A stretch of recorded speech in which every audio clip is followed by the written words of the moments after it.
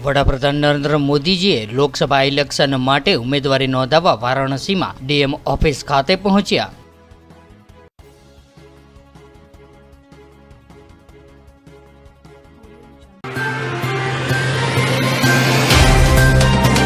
तो WhatsApp Twitter Facebook Insta जहाँ भी आपका अकाउंट है इसे शेयर बटन के द्वारा वहाँ पर शेयर करें